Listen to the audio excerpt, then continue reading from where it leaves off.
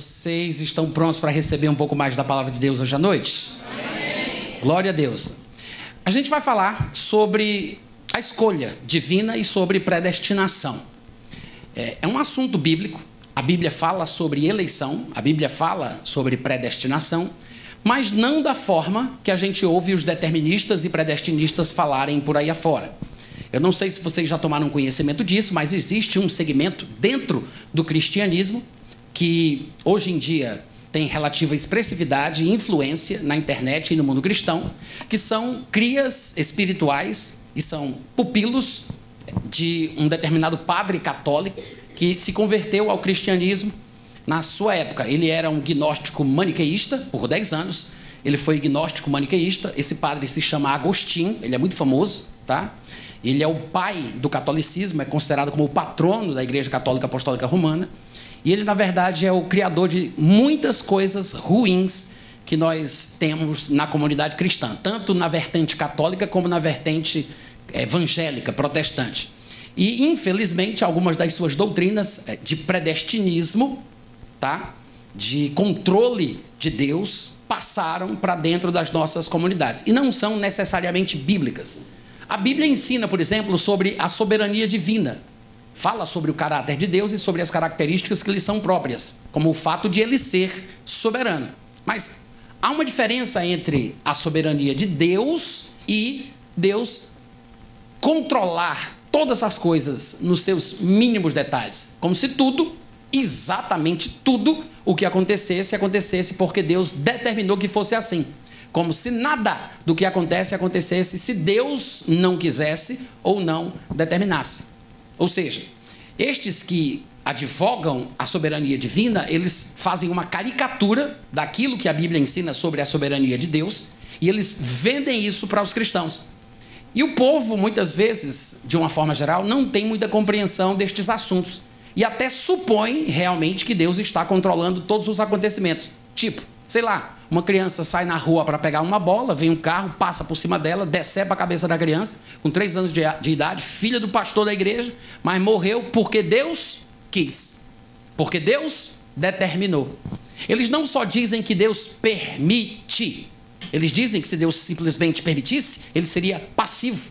Mas Deus faz com que a coisa aconteça. Os estupros, os roubos, os assassinatos, atos de terrorismo, Inclusive, um pregador famoso, que eu não vou dizer o nome porque não é ético, não convém, não é difícil de achar, mas um pregador famoso, norte-americano calvinista, já chegou a dizer no púlpito, e está por aí na internet, chegou a dizer que o ataque às Torres Gêmeas, quando milhares de americanos morreram naquela, naquele ataque, ele disse que foi planejado, orquestrado, determinado, estabelecido por Deus desde a eternidade passada.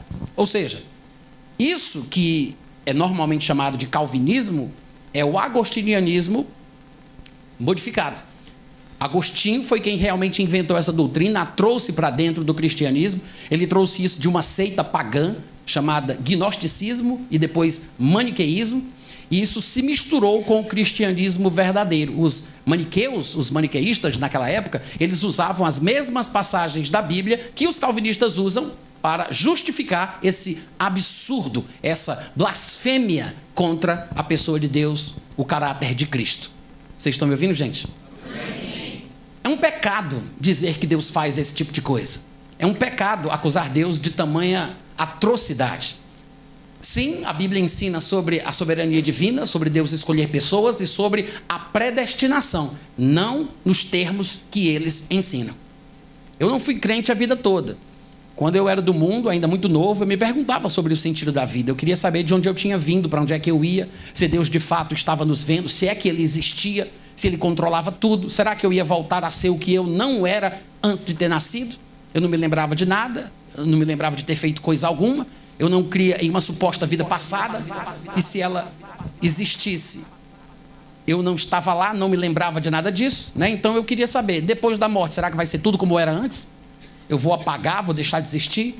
Então eu percebi que se tinha um tempo em que eu devia resolver essas coisas era enquanto eu estivesse acordado, né? Enquanto eu estivesse consciente, vivo e respirando. Então eu tinha uma obsessão por respostas. Eu queria entender o sentido da vida. E exatamente por causa disso eu acabei me identificando com um cantor que é considerado como o pai do rock nacional, que é Raul Seixas, porque ele cantava sobre as coisas da vida, cantava sobre Deus, sobre o inferno, sobre a morte, coisas que os outros cantores não costumavam cantar, e as músicas de Raul Seixas me chamaram a atenção. Afinal de contas, Raul, ele cantava nas suas músicas uma filosofia religiosa baseada no hinduísmo. Raul Seixas cantava o que a filosofia hindu prega. Inclusive, uma das músicas dele, que se chama Gita, é uma palavra em sânscrito, a língua sagrada dos hindus, significa Senhor. Naquela música que ele diz que andou pelos quatro cantos do mundo procurando, e foi justamente num sonho que Deus lhe falou. Aí Deus diz: às vezes você me pergunta, por que é que eu sou tão calado? Não falo de amor quase nada, nem fico sorrindo ao teu lado. Você pensa em mim toda hora, me come, me cospe, me deixa. Talvez você não entenda, mas hoje eu vou te mostrar. Aí Deus começa a se revelar né, ali naquela canção. Na verdade, esta é uma poesia do finalzinho de um texto sagrado hindu chamado Bhagavad Gita, o Canto do Senhor, que faz parte de uma coletânea maior chamada Mahabharata é filosofia e religião hindu. Então Raul Seixas, ele basicamente cantava isso. E o hinduísmo também é uma religião predestinista, fatalista, que atribui aos controles de Deus tudo o que acontece em seus mínimos detalhes. Raul Seixas fez uma música chamada Judas, usando a terminologia cristã para tentar alcançar o coração do povo ocidental. E essa música fez parte de um álbum chamado Mata Virgem, que foi lançado no ano de 1978. A música diz assim: Ei, um, um, demônio né, aparece dizendo: Ei, quem é você? Vamos, responda. Aí Judas, que é o eu lírico da canção, na pessoa de Raul Seixas, vai dizer: Eu sou Judas. E ele começa a explicar: Eu sou parte de um plano secreto. Eu fui amigo fiel de Jesus, escolhido por ele para pregá-lo na cruz. Cristo morreu como homem, o mártir da salvação, deixando para mim, o seu amigo, o sinal da traição.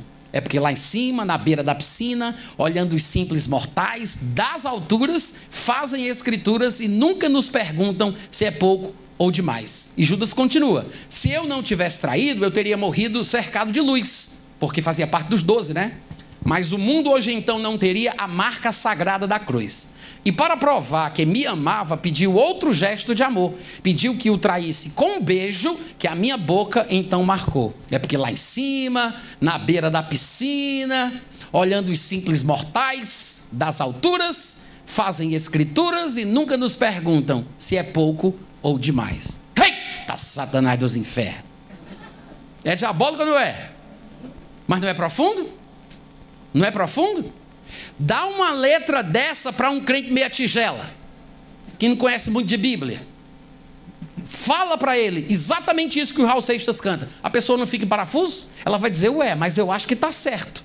Porque, se eu não me engano, né, parece que Jesus realmente escolheu Judas para trair ele. E se ele não tivesse traído, como é que ele poderia ter morrido pela humanidade? Como é que eu ia ser salvo se não fosse graças a Judas? Só pode mesmo ser um amigo fiel parte de um plano secreto. Nessa linha de raciocínio você vai acabar dando glória a Deus porque Adão pecou. Você vai dar glória a Deus porque Satanás existe, graças a Deus. Que senão Adão não teria pecado, não teria caído, Jesus não teria vindo, né? e você não seria salvo. Mas é um raciocínio falho. falho. E outra coisa, isso é diabólico, gente. Atribuir a Deus a responsabilidade dos erros humanos não tem o menor sentido.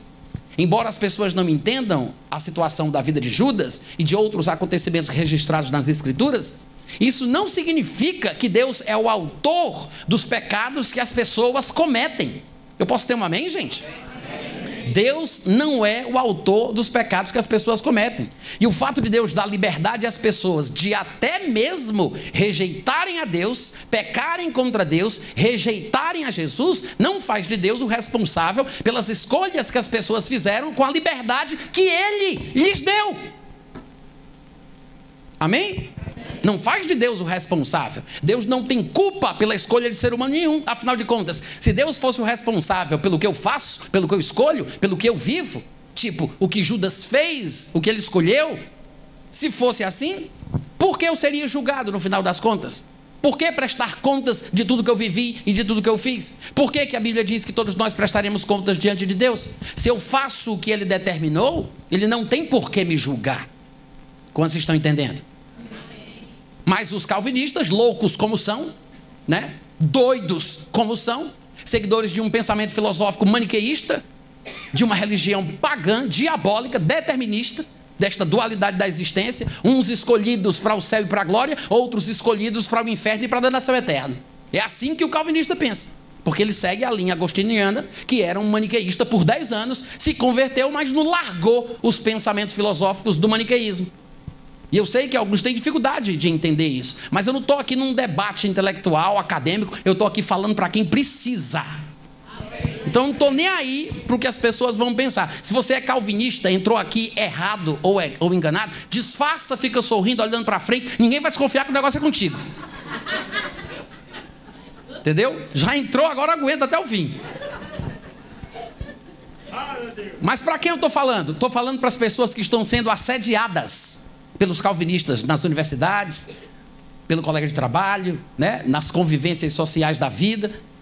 Porque muita gente tem dúvida, muita gente fica insegura, muita gente se deixa balançar por uma música de Raul Seixas, como a que eu cantei aqui, né? como a que eu citei. Imagina uma pregação usando textos da Bíblia que supostamente provam que Deus controla tudo e que Deus faz o que faz. Afinal de contas, gente, se as pessoas estão no mundo pecando porque Deus determinou como eles dizem, por que, que essas pessoas têm que ir para o inferno se elas estão fazendo a vontade de Deus? Estou pregando muito bem hoje à noite. Cadê os amém, aleluia? Eu vou até repetir. Se Deus determinou que essas pessoas estejam no mundo pecando e vivendo da forma que vivem, segundo a sua soberania, né? Porque segundo eles é assim. Deus destinou pessoas para o céu, Deus destinou pessoas para o inferno. Deus não ama a todos. Vocês sabiam que o calvinista diz que Deus não ama a todos? Talvez eles não digam abertamente, né, para não escandalizar. Mas para quem já está evoluído no grau 33, lá na religião deles, eles vão contam os segredos, as profundezas de Satanás. Aí eles contam. Mas eles não falam, nem todo mundo fala abertamente. Eles têm vergonha de certas coisas, porque são mesmo escandalosas. Mas se você for atrás de saber, você vai descobrir. Eles dizem que Deus não ama a todos. Jesus, na visão calvinista, não morreu por todos. Jesus morreu só pelos eleitos. Porque Deus só ama os eleitos. E estes são eleitos porque Deus quis que eles fossem antes deles nascerem. Porque Deus pré-determinou na eternidade passada que estes seres humanos nascessem para serem salvos e irem para o céu. Deus inventa de criar alguém para mandar essa pessoa para o inferno só para mostrar que ele tem poder para fazer isso. É o diabo, não é? Que diabo de Deus é esse?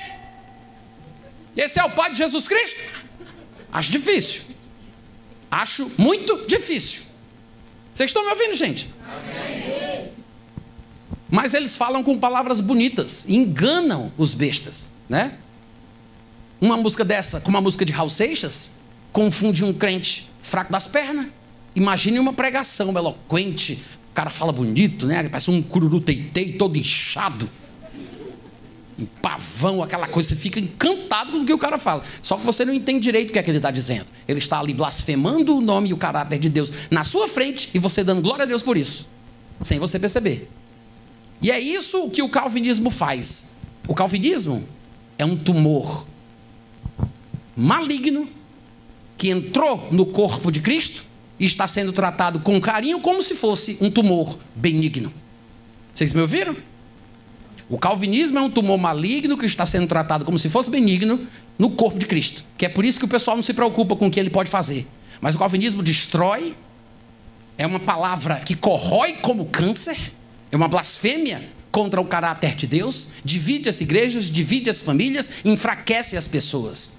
Aí você vai me dizer, Natan, por que você está dizendo isso? Não só pela experiência, pelo meu tempo de crente, eu me converti em 1989, 90, e de lá para cá eu tenho visto o estrago que esse pensamento diabólico tem feito nas pessoas. E pela minha própria história pessoal.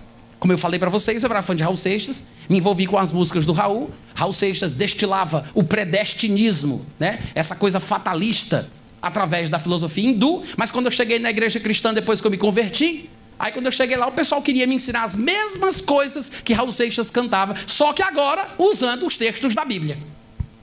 Você foge do diabo por um lado, ele tenta te encontrar no outro, né? A minha situação foi complicada. Eu quase matei a minha irmã, tive um surto psicótico, fui enjaulado, tive que ter, tomar remédio controlado durante muito tempo. Os médicos disseram que eu ficaria esquizofrênico paranoide pro resto da vida, porque alegam que não tem cura, mas olha eu aqui, né? Mas acontece, coisas assim acontecem. Aí eu saí do mundo, escapei de Satanás, chego na igreja, aí tá lá o diabo me esperando. A paz do Senhor, meu irmão. Agora ele vai me explicar o que eu não entendi. Através da música do Raul, ele vai me explicar pela Bíblia. E você não sabe o quanto eu sofri com os meus discipuladores, meus professores de escola dominical, meus líderes tentando me convencer de que a predestinação fatalista, não a bíblica, porque tem a bíblica e tem a fatalista. Essa predestinação diabólica que Agostinho trouxe para dentro da igreja, tentando me convencer de que aquilo era de Deus. E como é que eu ia conseguir argumentar? Eu era um louco ex-maconheiro, eu tinha uma plantação de maconha no quintal da minha casa, não era para tráfico, era consumo próprio, amém? Foi uma piada, eu acho que às vezes o pessoal não entende isso. eu sou cearense, tá, gente? um ex-maconheiro, cheguei dentro da igreja, ex-esquizofrênico, tomando ainda remédio controlado. O que é que eu vou dizer para o meu professor de escola dominical? Como é que eu vou contra-argumentar? Eu não, não tinha conhecimento de nada da Bíblia, de nada, de nada. Nem falar direito eu sabia. Eu só falava gira e palavrão. Dentro da igreja. E o pessoal com paciência, tentando me convencer e me doutrinar de que Deus era aquilo que Raul Seixas dizia que ele era. Mas graças a Deus que eu não caí nessa conversa. Graças a Deus. Porque foi aí que começou toda a minha luta contra esse pensamento diabólico. Não só para salvar a minha própria vida, porque eu precisava de respostas, eu, eu queria ter certeza, era uma coisa sobre a qual eu já vinha me perguntando antes de me converter, e agora não tinha mais para onde fugir. Estava dentro da igreja, eu ia fazer o quê? Então, à medida que o tempo passava, eu ia me fortalecendo, fui entendendo o Novo Testamento através de muita oração em línguas, muita perseverança. Deus começou a trazer luz ao meu coração. Graças a Deus, eu comecei a ter respostas para as minhas próprias indagações e comecei a ensinar as pessoas que estavam ao meu redor ajudando quem me seguia, quem queria me ouvir. E eu criei um grupo de oração na minha casa, lá na cidade de Fortaleza. E várias pessoas de outras igrejas e denominações começaram a frequentar esse grupo. E vinham pessoas de igrejas que são reconhecidamente calvinistas. Vinham para conhecer, pra, porque curiosas também. O ex-rapaz daquele bairro que todo mundo conhecia, que era drogado, louco, tinha um cabelão grande, brinco na orelha todo estranho, todo esquisitão. Aí quando eles me viram me convertendo, ficando diferente, o pessoal disse: Ué, o que aconteceu com Natan? E aí o pessoal crente, mesmo de igrejas assim consideradas frias, denominações muito tradicionais, vieram para me ouvir e começaram a gostar. E ficaram na reunião de oração na minha casa durante muito tempo. E depois eu acabei me mudando para a cidade de Campina Grande, como eu falei para vocês, para morar com um americano. E esse grupo se desfez e as pessoas voltaram para as suas casas, para as suas igrejas. Surgiu uma igreja a partir desse grupo de oração que eu tinha na minha casa, que está lá em Fortaleza, mas boa parte do povo voltou para as suas denominações, inclusive uma amiga minha que era de uma igreja calvinista. E depois de um tempo, em, em 1997, no dia 10 de agosto, ela me mandou uma carta. E eu trago essa carta comigo para todo lugar que eu vou. Porque sempre que eu tenho a oportunidade de falar contra esse pensamento diabólico, eu mostro o que o calvinismo pode fazer no coração de um ser humano. Tem pessoas que não se deixam abalar tão facilmente, graças a Deus por isso. Mas tem gente que não está pronta para lidar com ideias como estas. Vocês viram o exemplo da música de Raul Seixas? Judas. Imagina uma argumentação, uma pregação, a doutrinação batendo ali na sua cabeça todo domingo, todo domingo, todo culto, a pessoa te convencendo daquilo, de que Deus faz acepção de pessoas, que tem umas pessoas que ele escolhe para mandar para o céu e tem gente que ele cria só para mandar para o inferno para mostrar que ele tem poder para fazer isso. Imagina isso, repetidamente, 365 dias por ano. A minha amiga me escreveu e disse assim: Olha, saudades. São tantas coisas que passam pela minha cabeça que já não sei nem por onde começar. Primeiramente, eu queria te confessar que eu tenho medo de abrir-te o meu coração, porque sei que eu vou levar muita bronca pelo que você vai ver lá. Eu não gostaria de te decepcionar, muito menos preocupar, mas também não quero aparentar o que não sou mais. Essa é a carta dela. Se você quer mesmo saber como eu estou, eu vou começar pelo pior, o espiritual. Posso quase ouvir você dizendo agora, misericórdia. Meu relacionamento com Ele, com Deus, está complicado. Talvez você diga que eu devo buscá-lo mais, orar mais e etc. Mais. O fato é que cansei de fazer isso exatamente porque não obtive dele resposta alguma. Pelo menos não pessoal, como indivíduo, como sempre eu pensei que fosse. Mas sempre fazendo parte de uma coletividade no meio do povão. Nada direcionado a problemas e decisões específicas, nada. Você me conhece um pouco. Você sabe como sempre eu busquei com sinceridade, tinha meu coração sedento. Não é que me acha melhor ou pior agora das criaturas. Eu só gostaria de me sentir, aliás, saber que eu sou especial para ele, se faço diferença ou não no seu tão seleto número de escolhidos. Cada dia mais eu acho que ele faz recepção de pessoas. Eu imagino que você deve estar de queixo caído ao ler tudo isso, altamente decepcionado e super aflito. Desculpe-me. Sei que devo estar beirando o abismo da blasfêmia, mas eu gostaria que ele se manifestasse de alguma maneira, nem que fosse para me repreender. Tudo o que fiz ou disse nesses últimos tempos foi só para chamar a atenção dele. Afinal, Deus não corrige o filho a quem ama? Então, ou não sou filha, ou ele não me ama. Não sei mais nem o que pensar. Eu estive bem pior, sabe? Eu vivia deprimida, chorava o tempo inteiro, clamava a ele, sim, por alguma resposta, uma palavra amiga e nada. A dúvida de tudo o que sempre criei ser verdade deu-me medo de tentar o suicídio, como por duas vezes eu quis. Vocês estão me ouvindo? Para falar a verdade, eu não sei quem eu sou. Eu me sinto abandonada por ele. Por mais que você vai me dizer que não. Eu me sinto órfão de pai pela segunda vez. Tenho medo de tudo. Acho-me vulnerável. Não sei no que crer. Acho que no final ele conspira contra mim, porque eu não me rebelei. Eu vivo temendo a sua vingança. E se a predestinação existe, como alguns acham, será que eu não fui escolhida para ser outra coisa? E eu é que estou insistindo em querer ser parte desse povo eleito? Pensa nisso. Vocês estão me ouvindo, gente? Da onde surgiu essas ideias, esses pensamentos, essa confusão? Por que ela estava tão vulnerável? Como uma pessoa vai ficar confiante ouvindo o tempo inteiro que Deus escolhe uns e outros não? Que Deus manda uns para o inferno só porque Ele quer? Que Deus faz o que faz porque Ele é soberano e não tem ninguém que possa fazer nada para mudar o seu destino? Talvez você esteja na igreja se esforçando em vão, ao léu, porque você não foi escolhido, querido. Pode ser que você pense que tenha sido, porque você sente a graça, mas os calvinistas têm uma resposta para isso. Eles dizem que é uma graça que se esvai, evanescente, que engana uma pessoa que pensa que é eleita, quando na verdade não é.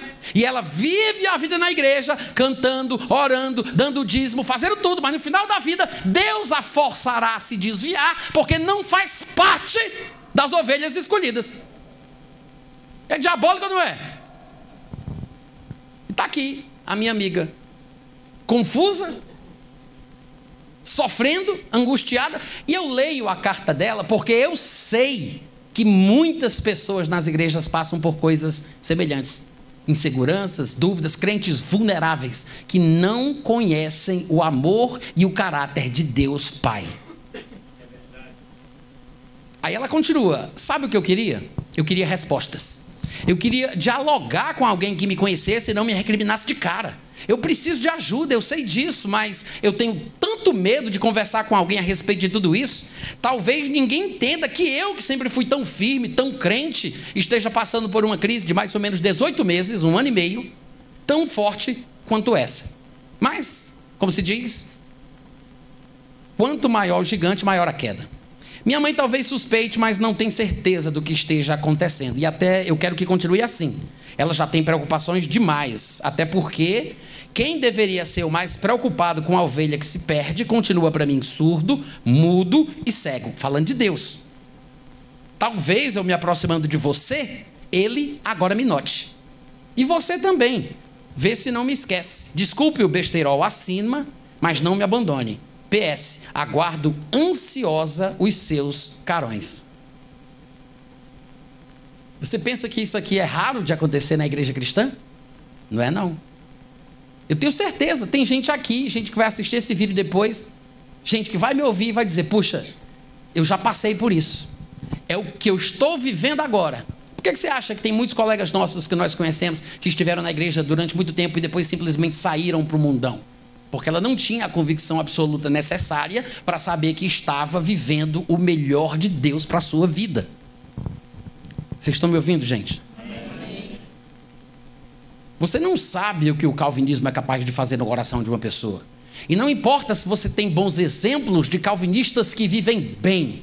Os calvinistas, eles vivem na, na, no fantástico mundo de Bob, tá? Eles dizem uma coisa, pregam uma coisa e vivem outra. Quando eles estão palestrando, eles repetem a doutrinação que receberam em seus seminários e nos livros dos seus pregadores prediletos. Mas quando eles saem do púlpito e vão viver a vida como ela é, eles agem como pessoas normais. Eles fazem seguro, previdência social, eles também pensam na aposentadoria, eles se previnem, se cuidam. São pessoas comuns, normais. Quando sobem no púlpito é que ficam doidos. E repetem as besteiras que ouviram em seus seminários e durante o processo de doutrinação. Então, se um desses de repente sabe distinguir uma coisa da outra e consegue viver sem, né, ficar louco do juízo, não use essa pessoa como referência. Porque isso não tem base bíblica. A Bíblia pode ser usada para defender qualquer coisa. Não pense que o que está na palavra de Deus, tudo o que está lá, sempre vai te abençoar. Depende da forma que aquela frase, aquele versículo, aquele texto é utilizado. Satanás, quando vai tentar alguém, ele usa a Bíblia. Não tem nada melhor do que enganar o povo de Deus do que as coisas que o povo de Deus busca. Por que, que ele usou a palavra de Deus com Jesus? Porque ele sabe como usar a palavra para enganar, para torcer, iludir, mascarar. E é assim que ele vai fazer. Ele vai usar a Bíblia para confundir uma pessoa que não a conhece tão bem. Vocês estão me ouvindo, gente? Então, o que é que acontece? Às vezes, nós ouvimos frases, eu sei que alguns de vocês talvez já tenham ouvido coisas que gostariam de respostas, versículos que gostariam que fossem melhor interpretados. Infelizmente, não dá para pregar a Bíblia toda numa noite só. E a vida cristã é assim mesmo, é uma caminhada que, que exige perseverança. Jesus disse: Se vocês permanecerem na minha palavra, conhecereis a verdade e a verdade vos libertará. Se permanecer, Jesus não garantiu que os seus ouvintes permaneceriam, mas ele garantiu que quem permanecer, se permanecer, né, é condicional, se permanecer, conhece. Quando conhecer, usufrui da libertação. Mas para esse conhecimento chegar, tem que haver perseverança. Você tem que permanecer na palavra, tem que continuar estudando, continuar meditando, lendo cada vez mais, até que a luz brilhe no seu coração. Então eu sei que tem frases na Bíblia que são confusas, versículos que talvez façam alusão a esse pensamento fatalista, predestinista, né, de Deus estar determinando tudo, até mesmo o mal. Eu sei que tem versículos confusos, às vezes por questões técnicas, por questões de tradução, por questões de compilação, edição, às vezes são coisas culturais. E a gente tem que ter paciência para entender o mistério por trás daquelas versões que nós lemos que trazem mais confusão do que luz. Então não se precipite, só porque você encontrou uma passagem que parece defender o pensamento calvinista. Porque os calvinistas também usam os mesmos versículos que os maniqueístas usavam na sua época para defender a sua doutrina diabólica. Os mesmos versículos com os mesmos argumentos. E aí você tem que ter paciência consigo mesmo, em primeiro lugar. E você tem que entender que a Bíblia é uma coletânea de livros que contém pensamentos profundos. Você já tentou, por exemplo, montar um quebra-cabeça de 3 mil peças, 1.500 peças? Você já viu que existem quebra-cabeças enormes assim? É um trabalho muito grande. Imagina a pessoa abrindo a caixa de um quebra-cabeças de mil peças desvirando todas as pecinhas, colocando em cima da mesa. Aquilo é um trabalho que vai exigir no mínimo uma semana ou mais. Ela vai ter que deixar aquela mesa ali dedicada só para aquilo. Enquanto ela não terminar o processo, ela não vai desfazer daquela mesa. As pecinhas do quebra-cabeça ficam ali em cima, ela vai desvirando todas, depois que estiverem todas desviradas, ela vai procurar tudo que é azul, azul com azul, provavelmente deve ser o céu, verde com verde, deve ser a grama.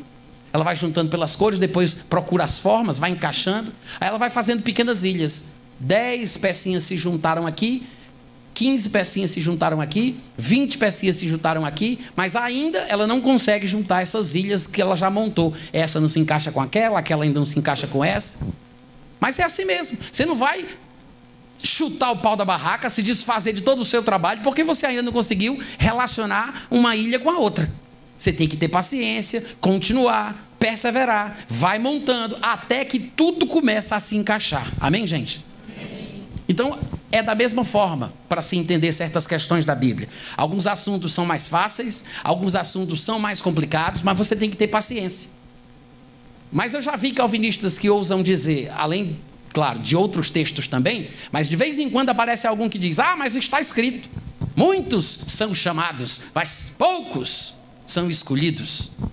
E eu acho que esse povo diz isso sem nem pensar direito o que é que está falando. Porque é um tiro do pé quando a pessoa cita essa frase para justificar a ideia de que Deus não ama todo mundo. Ou que Deus escolhe alguns para o céu e manda outros para o inferno. Quem usa essa frase para defender isso é louco, porque não percebe de onde ela foi tirada. Abre comigo, por gentileza, lá em Mateus capítulo 22. Vamos dar uma olhadinha. Mateus capítulo 22.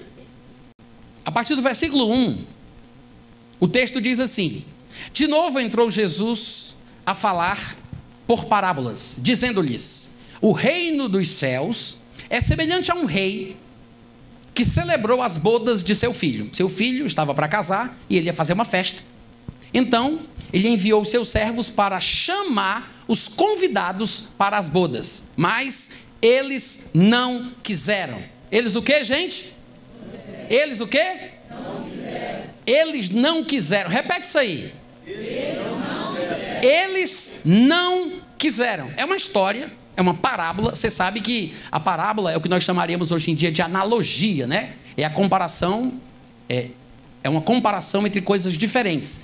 Jesus usava a realidade do mundo natural para falar de coisas profundas do mundo espiritual. Então ele está contando essa história porque ele quer falar uma, uma lição, ele quer contar uma lição sobre as questões relacionadas à escolha divina, ao destino, à vida espiritual, etc. Então ele diz: O rei mandou chamar os convidados, mas eles não quiseram. Versículo 4: Enviou ainda outros servos com esta ordem: Dizei aos convidados: Eis que já preparei o meu banquete, os meus bois e cevados já foram abatidos, tudo está pronto. Vinde para as bodas. Eles, porém, não se importaram.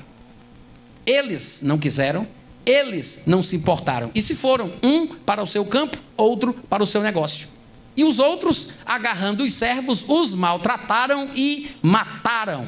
O rei ficou irado e, enviando as suas tropas, exterminou aqueles assassinos e lhes incendiou a cidade. Então disse aos seus servos: Está pronta a festa, mas os convidados, ou seja, foram convidados, mas rejeitaram o convite, não eram dignos. Ele não está falando sobre uma natureza intrínseca do ser humano ao ter nascido. Eu nasci indigno porque Deus me fez assim. Faço parte da casta dos réprobos. Sou escolhido por Deus para ir para o inferno. Nasci assim, sou indigno de nascença. Não. Eles são chamados de indignos aqui pela atitude que tiveram para o convite. Eles são chamados de indignos, eles estão sendo reprovados pela atitude em relação ao convite. Rejeitaram, fizeram pouco caso, até chegaram a matar os servos que foram enviados para convidá-los. E aí o rei diz: eles não eram dignos. Versículo 9: E depois para as encruzilhadas dos caminhos, convidai para as bodas a quantos encontrardes. E saindo aqueles servos pelas estradas, Reuniram todos os que encontraram, maus e bons, e a sala do banquete ficou repleta de convidados. Estes, obviamente, eram dignos, porque aceitaram o convite, foram. Porém, não é de qualquer jeito. Porque você aceita o convite, porque o convite é para todos, mas você tem que ter um pingo de juízo e de decência. Se você fosse convidado para um casamento, você não pode ir com qualquer roupa. Ah, mas o importante é o que está no interior. O homem vê a aparência, mas Deus vê o coração. Você tem que ter um pouco de bom senso, né, querido? Você vai para lá de biquíni, vai de maiô, vai de roupa de praia. Você não pode ir de qualquer jeito. Tem a roupa certa. Quantos estão entendendo? Amém. E é exatamente o que acontece. Estes convidados que aceitaram, podendo assim ser chamados de dignos, já que os rejeitaram eram indignos, mesmo entre os que aceitaram, alguns ainda foram rejeitados que é o que o versículo vai dizer logo no versículo 11, logo na sequência. Entrando, porém, o rei para ver os que estavam à mesa, notou ali um homem que não trazia a roupa certa para a ocasião. Ele não trazia a veste nupcial. E perguntou-lhe, amigo, como entraste aqui sem veste nupcial? E ele não tinha o que dizer. Ele emudeceu. É aquele vou ver se dá certo, né? Se colar, colou. Ele, ele tentou para ver se dava certo, se ninguém percebia, mas ele sabia que estava errado. Por isso que não tinha desculpa, não tinha resposta, não tinha palavra e ficou mudo. E aí ordenou o rei aos serventes: amarrai-o de pés e mãos e lançai-o para fora nas trevas. Ali haverá choro e ranger de dentes, porque muitos são chamados, poucos escolhidos. Diga amém. amém. Ah, sim. Agora faz sentido. Agora faz sentido, porque o pessoal usa essa frase para dar a ideia de que Deus não escolhe todo mundo. Todo mundo aqui teve a chance. Todo mundo aqui na história teve a oportunidade. O convite foi para todo mundo. Agora, como as pessoas tratam o convite? Como elas reagem? Se elas aceitam ou rejeitam? E mesmo os que aceitam, será que elas se comportam apropriadamente à altura do chamado que receberam, do convite que aceitaram, ou vão de qualquer jeito? Ou seja, quando, quando, Jesus disse, poucos são, muitos são chamados, mas poucos são escolhidos, ele está falando sobre consequência das escolhas das pessoas convidadas. Vocês estão me ouvindo, gente? Não tem esse negócio de dizer que Deus não ama todo mundo, que Deus escolhe apenas alguns, como se fosse uma versão cristã da ideia de castas do hinduísmo, porque no hinduísmo é assim: se você nasce numa casta específica, você não pode migrar para outra casta. Se o seu destino, o karma, determinou que você nascesse naquela casta, você está naquela casta pelo destino. É a mesma coisa que o calvinismo fala. Quem nasce como eleito, não tem como não ser, não tem como deixar de ser, porque uma vez salvo, salvo para sempre. É assim que o calvinismo prega. Agora, se a pessoa nasceu na casta dos réprobos, não tem como ela ir para o céu. Pode até viver e morrer dentro da igreja, mas não faz parte da lista dos eleitos. Então vai para o inferno, porque Deus a criou para isso. Castas cristãs: casta da sorte e casta do azar. A mesma coisa do hinduísmo, o mesmo predestinismo, a mesma ideia diabólica. Vocês estão me ouvindo? Irmãos, a quantos Deus criou para buscá-lo Ele, para buscarem Ele. Quantos Deus criou para buscarem Ele? Quantos? A todos. Da onde nós tiramos essa ideia? Não é das vozes da nossa cabeça, é do que a Bíblia diz. E nós temos textos no plural que provam isso. Mas tem um que eu gosto particularmente, que é Atos capítulo 17, quando Paulo se encontrava em Atenas, a capital cultural do mundo antigo. E você vai ver que o texto diz que Paulo esperava na cidade de Atenas alguns dos seus companheiros de ministério.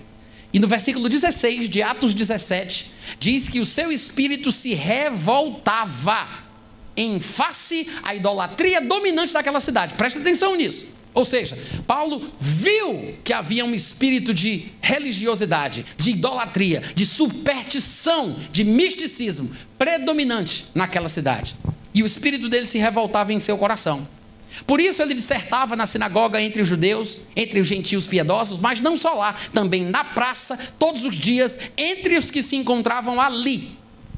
Alguns dos filósofos epicureus e estoicos contendiam com ele, havendo até quem perguntasse: o que é que esse, o que é que quer dizer esse tagarela? E outros Parece pregador de deuses estranhos, porque ele fala de um tal de Jesus e a dona da ressurreição. Então, tomando-o consigo, o levaram ao Areópago, que era uma espécie de anfiteatro, onde os faladores estavam lá para dar suas palestras, ensinar, e os outros ouviam e debatiam. Levaram Paulo ao Areópago, dizendo para ele: Poderíamos porventura saber que nova doutrina é essa que ensinas? Porque nos trazes aos ouvidos coisas estranhas. Queremos saber o que vem a ser isso pois todos os de Atenas e os estrangeiros residentes de outra coisa não cuidavam, senão dizer ou ouvir as últimas novidades. Parece os crentes de hoje em dia, né? Então Paulo, versículo 22, levantando-se no meio do Areópago, disse: Senhores atenienses, em tudo vos vejo acentuadamente religiosos. Outras versões dizem supersticiosos. Porque, passando e observando os objetos do vosso culto, encontrei também um altar no qual está inscrito: Ao Deus desconhecido. Aí Paulo disse: Pois esse que adorais sem conhecer é precisamente aquele que eu vou pregar hoje à noite. É sobre esse que eu vou falar para vocês hoje à noite. Veja que Paulo, ele não está numa igreja cristã, ele não está dentro de uma sinagoga judaica, ele está no anfiteatro de Atenas, a capital cultural do mundo antigo, onde religiosos supersticiosos se reuniam para falar das novidades, das últimas notícias. Aí Paulo diz: Pois é, é precisamente sobre esse Deus que vocês não conhecem que eu quero pregar.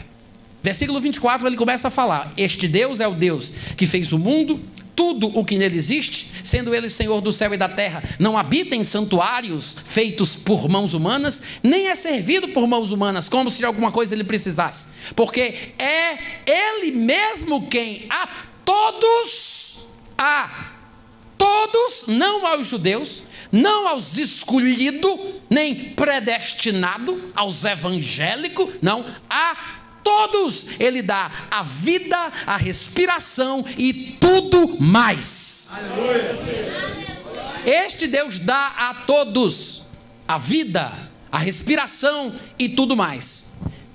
De um só homem, que é Adão, ele fez toda a raça humana. De um só homem, ele fez toda a raça humana. Para quê? Para que toda a raça humana feita por ele a partir de um só homem habitasse sobre a face da terra havendo fixado os tempos previamente estabelecidos e os limites desta habitação do homem na face da terra, porque não seria para sempre, seria um período de tempo previamente estabelecido, mas Deus criou o homem para habitar na terra durante esse tempo previamente estabelecido, para buscar a Deus. E no versículo seguinte ele acrescenta: se porventura tateando o possam achar.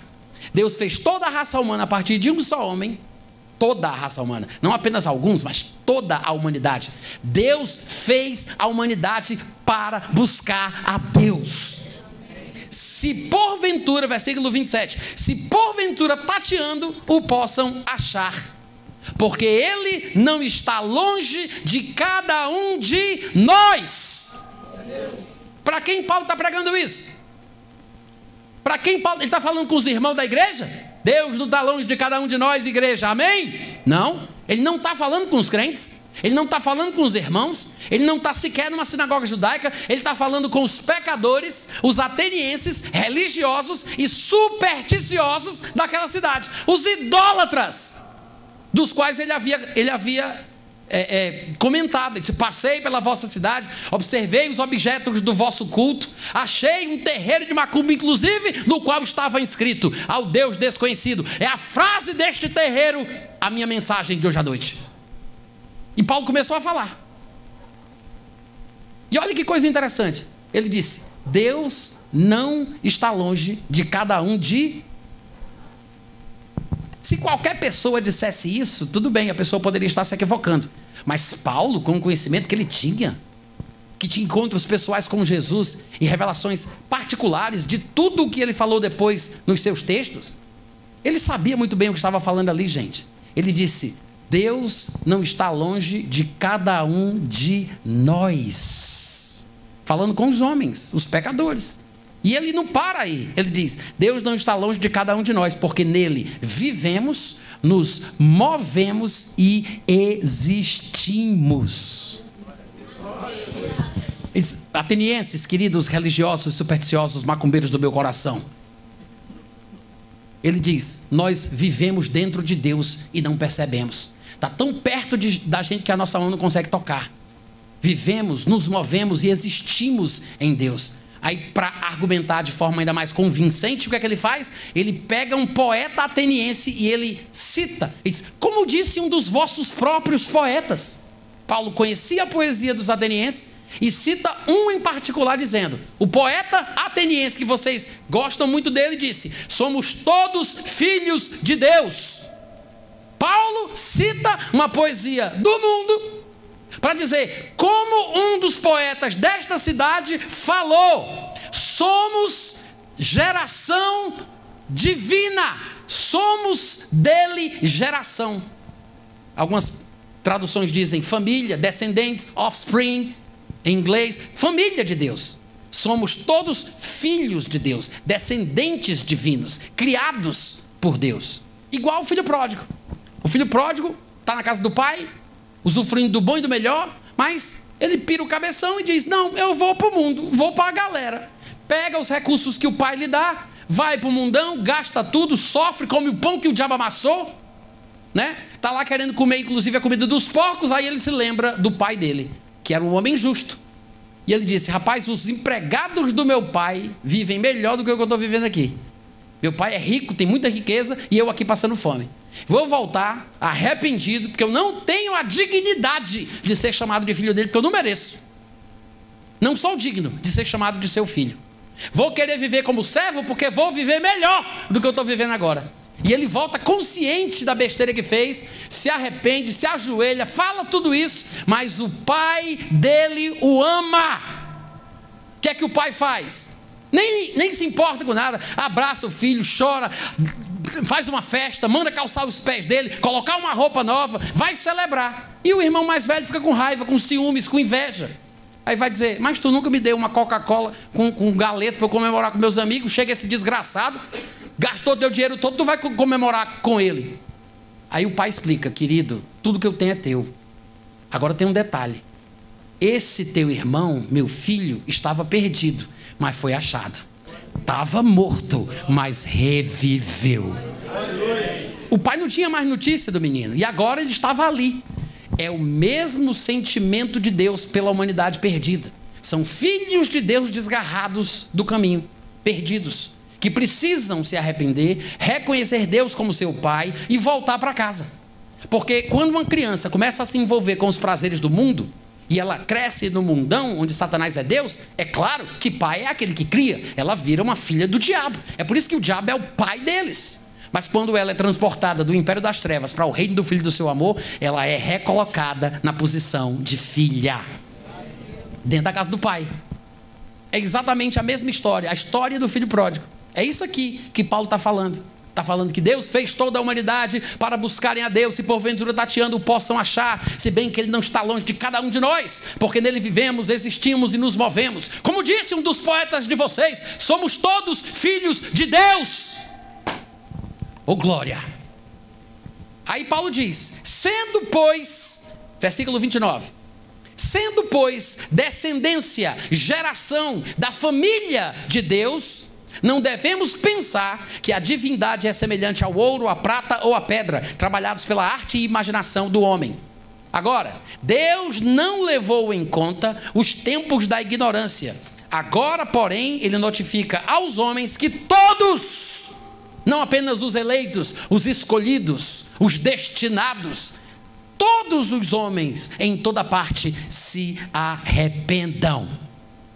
Amém, gente? Amém. O que é que isso significa? Que Deus não faz acepção de pessoas. Jesus disse que ele faz o seu sol nascer sobre bons e maus. A sua chuva ele faz cair sobre justos e injustos. Deus abençoa aquele que presta e aquele que a gente diz que não presta, porque Deus não faz acepção de pessoas. Não importa a dúvida que você possa ter sobre qualquer versículo da Bíblia. Ah, mas tem um versículo. Ah, sempre tem uma resposta. Talvez você não a conheça. Talvez você não esteja, você não esteja ainda pronto para entender o que aquela passagem realmente ensina. Mas qualquer ideia, qualquer ideia vinda da boca de um pregador ou diretamente de Satanás sem precisar de intermediários. Qualquer ideia que chegue no seu coração, que dê a entender que Deus, pela sua soberania, impede pessoas de serem salvas, porque Ele não quer salvar estas pessoas, como se Ele fizesse acepção entre uns e outros, isso não é de Deus rejeite em nome de Jesus. Amém, gente? Deus te ama, ama a todos, a todos e criou toda a humanidade para buscarem a Deus. Amém? Então, cuidado com as coisas que você anda ouvindo, anda assistindo. Eu sei que depois do surgimento da internet, o conhecimento ele foi pulverizado e a gente tem acesso a todo tipo de coisa. A internet é uma benção, mas nem tudo que está na internet faz bem. Tá? A tecnologia em si é uma benção, mas vocês sabem que as coisas boas podem ser usadas para o mal. Uma arma não é uma coisa ruim, é uma tecnologia que pode trazer a defesa de uma família, a defesa de alguém, a imposição da ordem por meio dos policiais e das autoridades. Mas as pessoas podem usar a arma para fazer o mal, para assaltar, sequestrar, matar. Então, cuidado com a internet. Ela não é ruim por si só, mas tem muita coisa lá que não é comida. E você acaba levando para a boca se você for criança, porque criança, tudo que pega quer botar na boca. Depois, você não sabe o que aquilo pode fazer contigo, o mal que pode te causar. é muito perigoso. Não ouça tudo. Não ouça tudo. Não leia tudo. Não veja tudo. Ah, mas é um pastor. Você não sabe o mal que isso pode fazer. Amém? Algumas pessoas dizem, ah, Natan, mas sei lá, é, tá, 5%, 5% é ruim, mas o resto eu acho que é legal. 5%, assim, tudo bem, eu concordo, não presta, mas o resto. Você tomaria um copo de água com 5% de cocô? Levante sua mão, nós queremos orar por você. Não, né? Hein? Eu deixo essa frase para a meditação da igreja. Obrigado pelo carinho, gente. Até amanhã.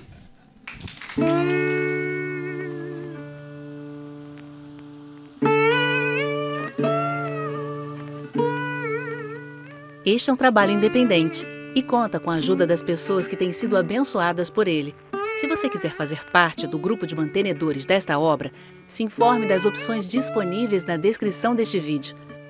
Agradecemos pela atenção e pelo carinho. Deus abençoe.